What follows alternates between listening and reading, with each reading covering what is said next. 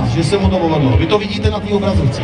Včera otvíral 12, ta se otevírá tíž, Ano. hůř. Hůř?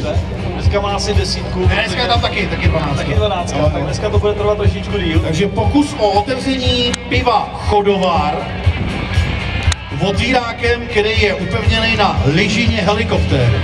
Jinak každý pilot vrtulníku, když si chce otevřít pivo, tak si k tomu nekupuje vrtulník, ten si koupí normálně otvírák, jo, takže... Ale je to udělané jenom pro zábavu, je to proto, a podívejte se na to, je to opravdu, je to těžký, je to opravdu majstrštych, říkám to dobře, Říkáš to špatně, protože majstr štych je mistrovský štych jako eh, stech, no. Ale nebo si říká majstr štyk, tak štyk.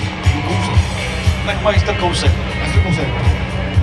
A opravdu, jestli někdo někdy řídil vrtulník nebo budete mít, je to možnost taky, je dneska jsou takové školy, kde vás vezmou pilotem vrtulníku snadno a rychle. Povedlo se to? Opravdu? Tak co odvíráš ještě teda, když už? Pění to. To jenom načal. Děkujeme Tomáši. Ona, jak říkají baboráci, je to, je to jako Foriktung, Ferbeserung, dá se říct, že to spíš taková vyfikundace. Nevím, jestli je to správně německy, ale je to šen. Schön.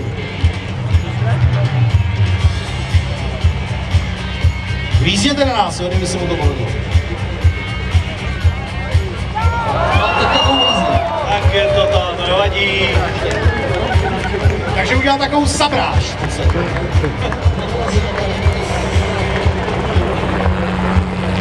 Takže se mu to povedlo. Tak výborně, tohle je vítězný tanec, pohodě. Tak prosím tedy o potlesk pro pilota tohoto vrtulníku, který na podruhé, nebo i na podruhé, dokázal otevřít lahev piva Chodovár za pomocí helikoptéry.